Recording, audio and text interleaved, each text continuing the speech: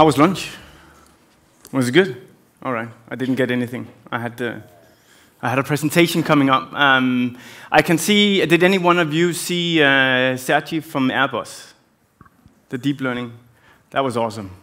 And apparently, I cannot compete with that. Uh, a little bit fewer people um, in this session, but nonetheless, uh, thank you so much for coming. Um, the next half an hour, I'm, I'm basically going to take you through um, what, what has been our journey in, in Novo Nordisk in terms of, of really creating a, uh, what I call in this presentation uh, an analytics-powered organization.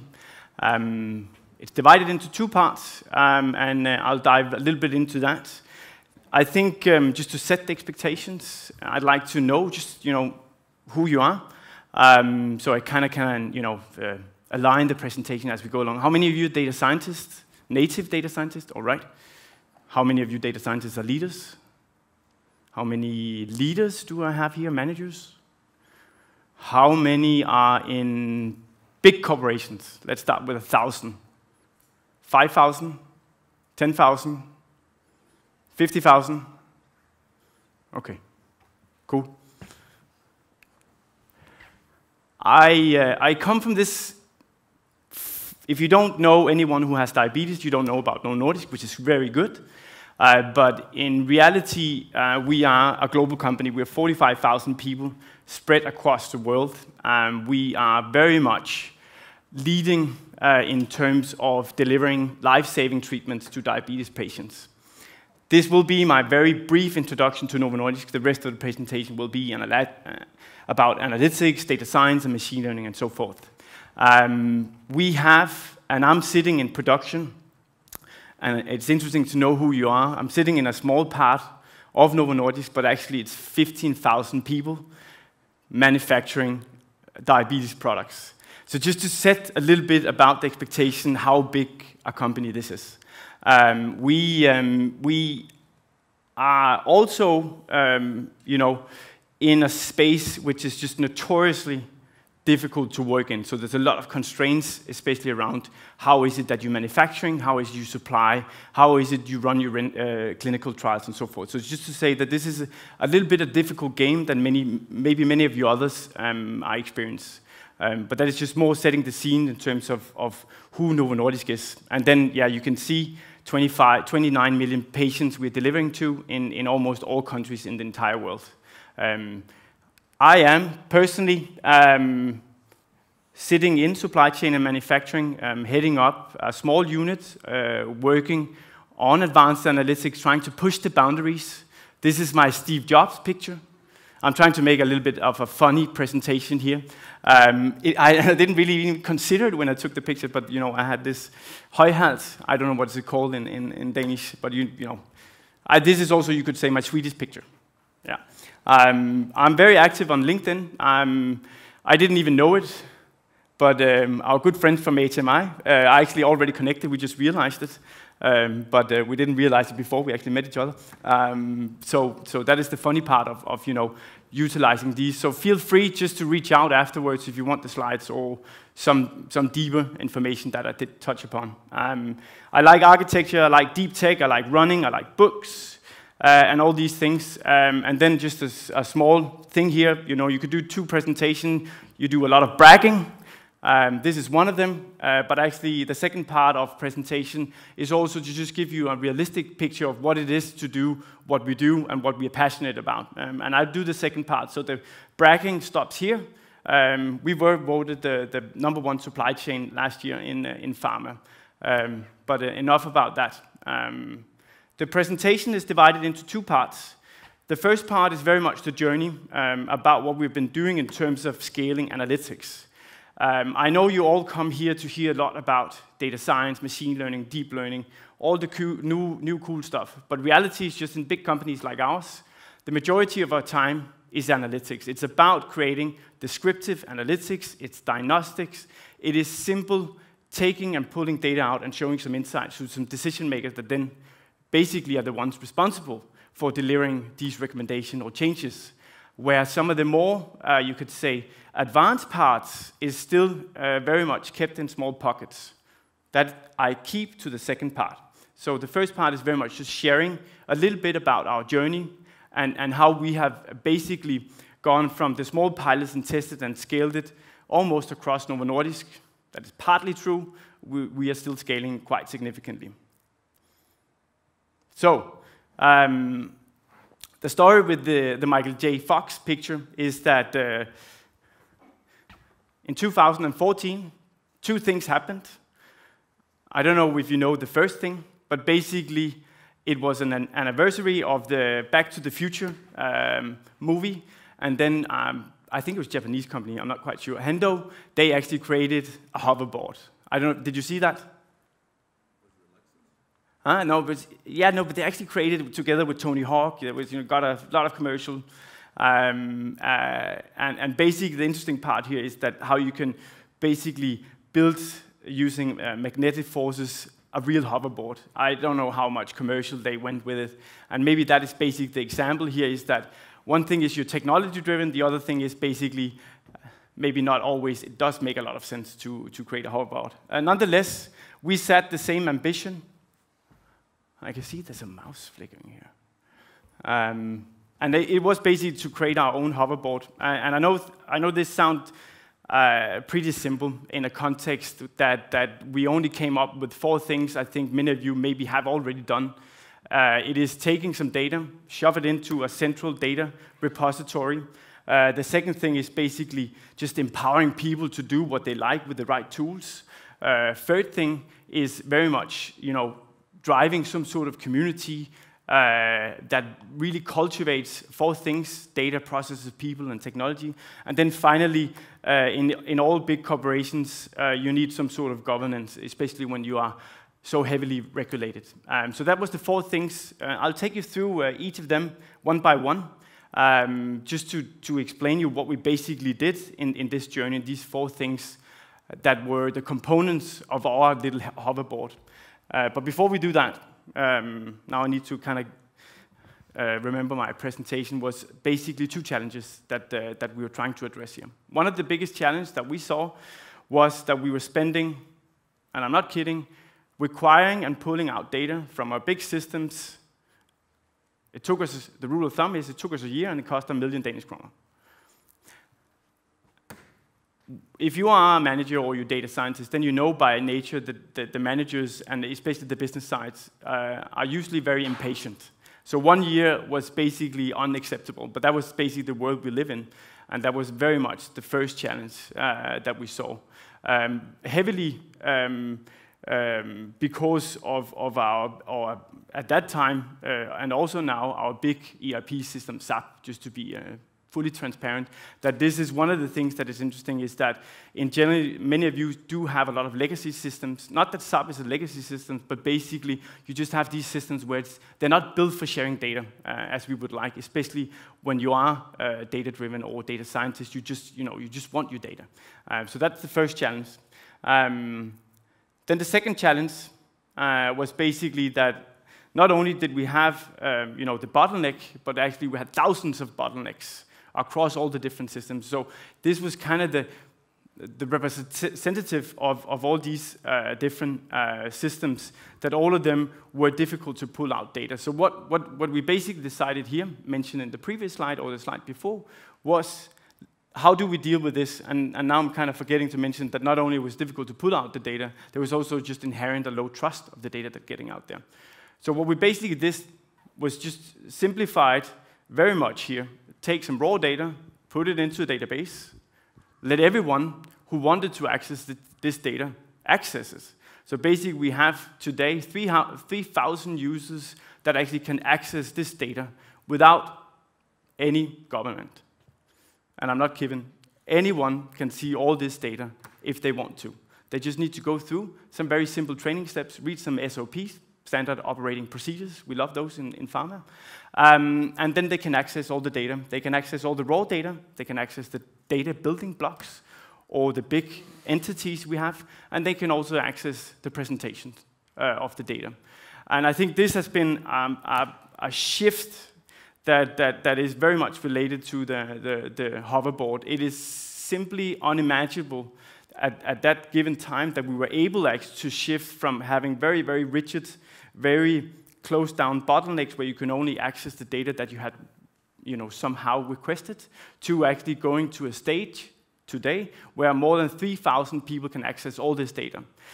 What you also need to know is that we have, we have actually just chosen some very simple technologies because there was a lot of people available to do this. So we had some very skilled SQL programmers that basically from day one could take and transform our transactional data into these building blocks needed.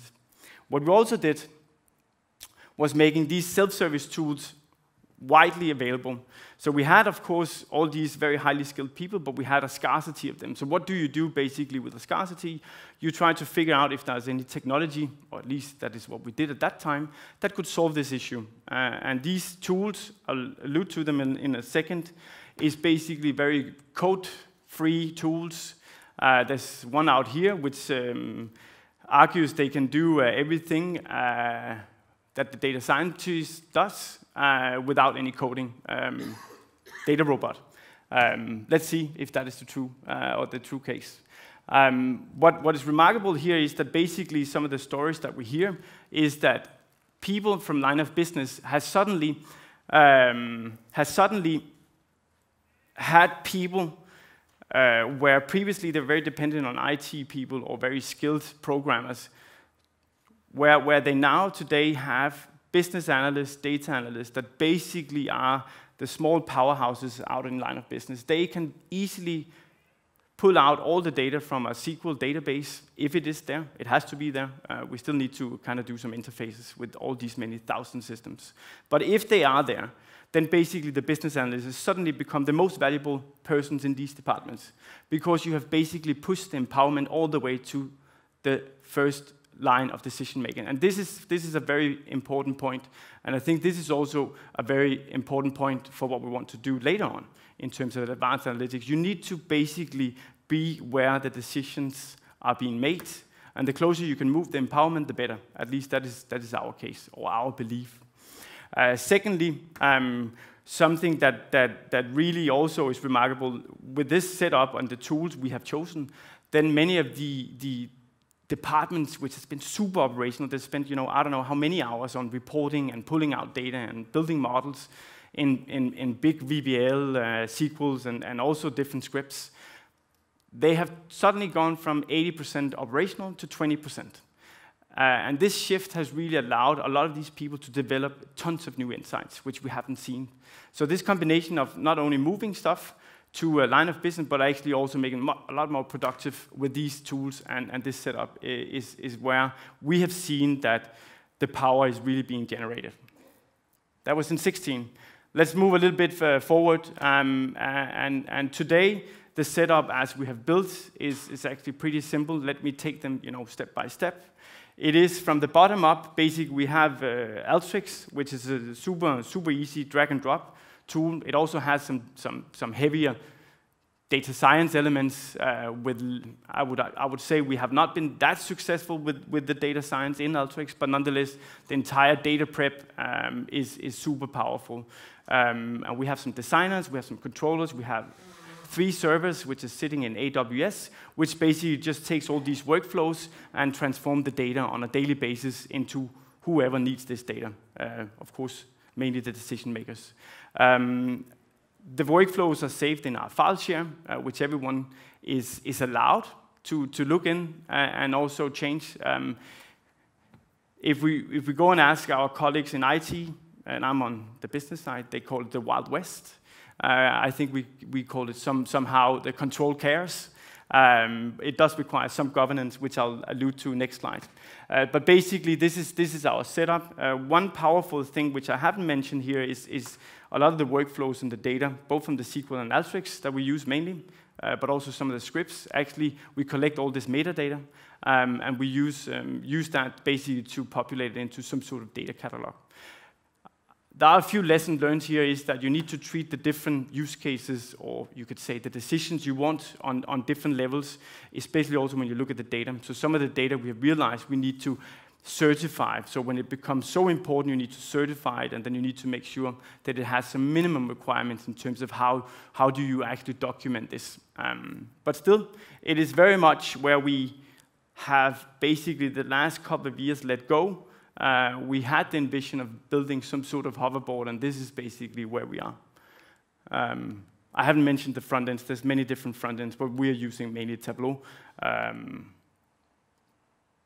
then uh, another thing which, which, which is not only you know, the data, the technology, uh, that really has, has elevated um, what we're doing is how we have built some sort of culture around. We, we, we, we take on new employees, we upskill current employees, um, not so much focused on management, which I'll come to in, in, the second part, but basically, you know, everything from we have Tableau Thursdays where people can come and ask silly questions, super advanced, uh, you know, uh, super basic, but anything that, that really is, is, is needed um, in, in order for people to get going, uh, because many of them are sitting pretty alone in line of business.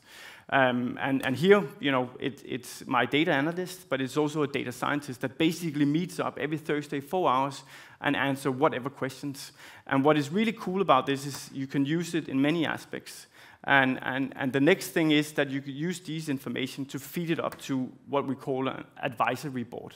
So we don't have a board which is governing this and you know, deciding on the technology, but basically there's sitting a bunch of people, including myself, where we take in all the things from Tableau Thursdays to the projects we're running, the different use cases, and then basically trying to figure out what is the state of this ecosystem we have built, and then making sure that we you know, constantly evaluate, do we have enough server capacity, do we train our people enough, uh, you know, have we the budget that support this and all these things. And what, what I didn't mention was that all of this has been driven out of line of business. And I didn't ask if any of you were from IT, so maybe that is my question now to you. Any of you from IT? So the rest is from line of business or small startup or consultants, I assume. Uh, but basically, what we realized, or what we, we, the reason, one of the reasons why we did this in the beginning um, and, and wanted to build a hoverboard was basically the things that we had available, no offense, from IT at that given time, a lot has happened since, didn't meet the requirements. But they were so rigid at that given time that you know, they could solve everything. You, know, you just need to go and ask IT, um, and, um, and then they would come with the tool and the technology and data, and everything would be fine in one year and cost a million. What is interesting now, there's a few lessons to learn, but basically I, I wanted to uh, put in a slide, is that we have now, after four years, moved everything to IT. So what is really interesting here is that line of business has created this entire technology journey with thousands of people tapping into data. We have more than 250 people sitting and, and making literally on a daily basis Alteryx flows that are transforming data. And it's, it's done by the line of business. The lessons learned, however, and I think I didn't mention this, is that the, maybe the first one is that if I could have done this differently, I wanted IT on board from day one, if they wanted to. Uh, they didn't want to in the beginning. Uh, I, think, I think they would think, I, I, think personally, I hope they will think twice next time, but let's see. Um, but, but nonetheless, uh, the lessons we have learned are four things. Uh, you, you, need to have some smart governance around your, your raw data. You know, so that's everything from semantic, um, naming conventions, and so forth. That is, that is very, very much the key. Um, and it's very much also the key in terms of the next step. Um, you know, uh, at least that is, that is my belief. You know, the, level of hygiene in your data needs to uh, you know, go rapidly up or significantly up uh, the further and the more advanced you get. Here, we still have the possibility, because it's provided to the decision maker, that uh, he or she can basically decide if the data makes sense or not. Uh, when we go to an algorithm uh, world where everything is done in a, model, in a model, then it requires something differently of data. Uh, then the data lake, and that's kind of like the second point I'm alluding to here. Um, then, then again, uh, it is very much this idea about cultivating uh, data and analytics and processes and people. You know, don't put all your money on the technology in itself. You need to have something around it. So that's very much where empowerment comes in. And then finally, but not least, uh, it's, it's easy to look in hindsight, but basically, you know, start measuring your value from day one. That was the first part write down some questions mark now, or questions for that part if, if you feel it's needed. Now let's go to the second part. So basically, where we are today. So we went from past, now we are present, and now we'll talk a little bit about that, and then the future in the end. It is that, to be honest, many, many, many big companies, and I see them today. Sergi, the Airbus presentation that was, you know, I'm alluding to it, it was widely impressive. But he also mentioned in the end, I don't know if you noticed this, that they're working on the next step, which is making the models production ready. How do you scale this? That was at least how I got out of uh, one of the small bullets in the end. He didn't allude a lot to it uh, because it was very impressive, but in, in reality, many of us are actually struggling with taking these proof of concept and then scaling them. So that is very much the cow represented in the picture. You know, we're kind of in the middle, many of us, but how do you kind of move, move from there? Briefly, um, advanced analytics for me is very much that, that it's, it's autonomous. It is basically where you're using more sophisticated techniques than what I showed you in the previous slide. Not to neglect it, but basically that is, that is where we want to head. And it is very much you know, to discover deeper, deeper insight, make prediction, and, and generate recommendations. That is at least Gartner's take. I very much buy into it. My best example or reference to this is the self-driving car. I think many of you are also using this potentially in presentations. Now I'm just doing it again. Um, and, um, and basically, if, if we look at what analytics is for me, then it's my Porsche. I don't have one. I have a small Audi. I cannot afford anything uh, more than that. My boss, he just got the Model 3, and he, you know, he, he, he runs around and brags about it. It's really nice and can do all these fancy things. For me, that is very much the space of advanced analytics, where you are taking all the sensors and signals and processes, and, and you make some sort of decision or recommendation in a very given environment. So to, to some extent, it is a, a simple way on, of interpreting um, a situation with data we haven't even come close, at least in our uh, area, to what they are really trying to do with autonomous vehicles. But there's a very, very, um, uh, you could say, uh, closely interlinked connection between autonomous and AI. Uh, and it will be very interesting to see how fast it will go. I think Elon Musk he had some sort of prediction that his entire uh, Model 3 would be like an autonomous vehicle that were just floating around here in 2021 uh, or something like that, but he's not very good at predicting. Uh, I think it will be more or less the same with many of the things we, we, are, we are embarking on now. It will be a lot more difficult than what we say uh, it is. And three examples of this difficulty is very much summarized in a lately very good report um, in Harvard Business Review, the middle one. Um, and, and the interesting thing here, and the reference to the first part of the presentation, is very much that it's not so much about the technology, I'm not fully agreeing on that. It's not so much about the data. Uh, well, it, we kind of need it. But I do agree there is somehow being spent too much time talking about these two aspects and too little about the culture, especially in big companies like ours. Because that is really where you need to put your money um, in order to successfully scale this.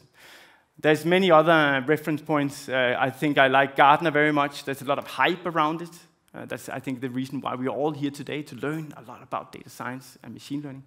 Um, but there's also uh, somehow, um, um, you could say, not, not a conflict, but basically uh, something counterintuitive. It is that 50% of all the things that we are setting sail or the data science projects we're trying to, uh, to um, um, you could say, uh, run only 50% of them actually are a success, which I think is very interesting. Why, why is it that only 50% of these data science projects actually doesn't become more than just a good idea or proof of concept? And then finally, but not least, when we really you know, are trying to push the boundaries in terms of AI, then it's just kept in the corner, or at least that is their prediction.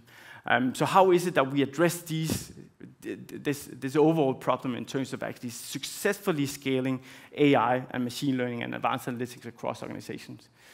I think there are seven decisions that need to be made. Um, so this is my take on it. Um, and um, it is very much about priority, it's focus, it's allocations, it is education, how you organize yourself, and then data and technology, obviously. My best take is that in order to become AA-driven fully, you really need to focus your investments. You need to spend your time clever. You need to utilize your talent in a way that uh, I'm not quite sure that we are doing uh, to the extent that we should. Maybe some of you are. Uh, I'd like us to do it differently. Um, this is my best guess of if I were to make a decision between two different axes, then it would look something like this. I'll take you through each of them very quickly. I think I'm running out of time. Ish.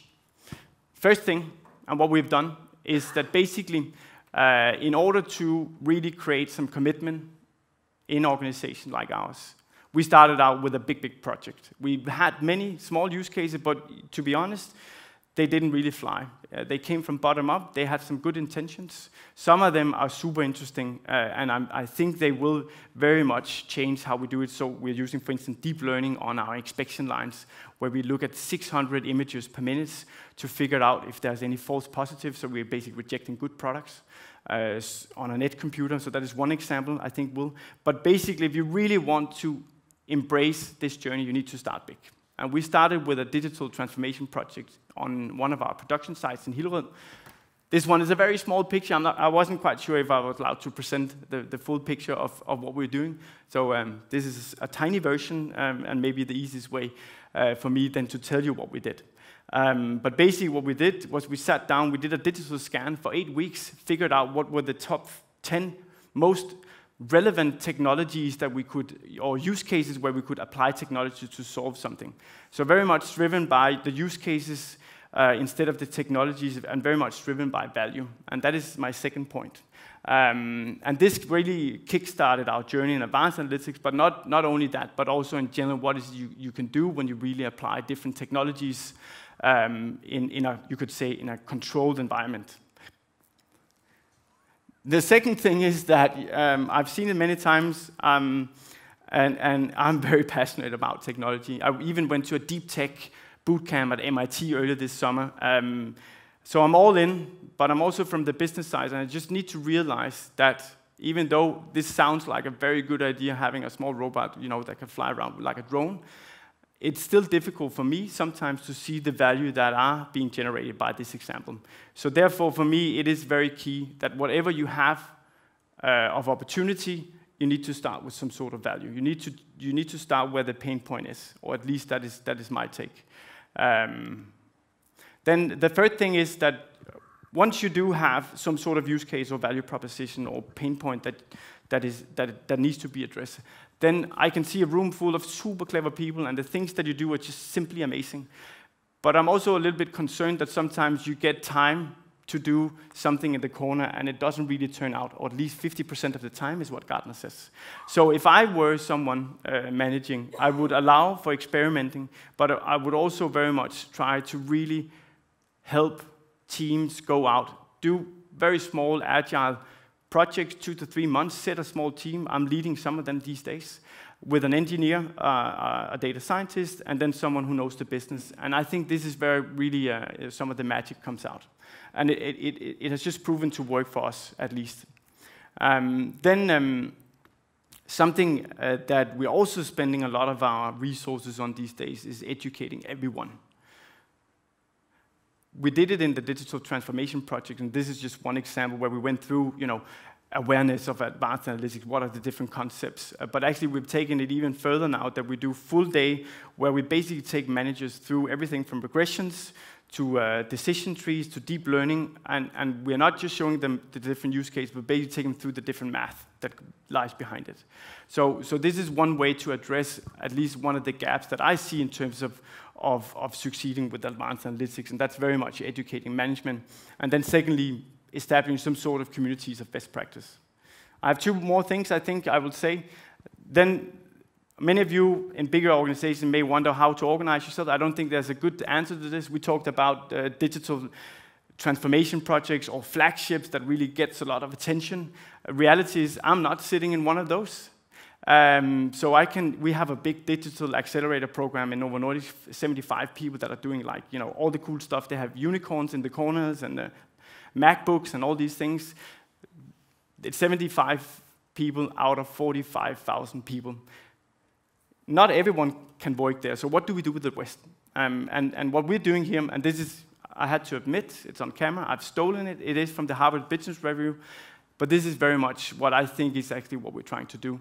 We have these small units of, uh, of businesses, they call them spoke, Um, and and, and they, those are the ones that are actually driving you, the different use cases. And then what we recently are doing is building a center of excellence.